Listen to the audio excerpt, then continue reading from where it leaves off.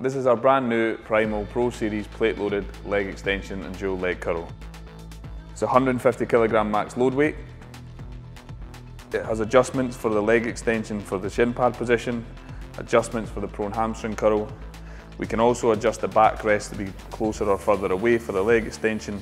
And we've got full range adjustment for the prone hamstring curl. Now we've got the machine set up in the correct position, we also need to make sure that we're in the right position for using the prone hamstring curl. We want to ensure the knees are just coming off the edge of the pad, making sure we can track fully through the hamstrings and keep the hips driven down into the pad as well.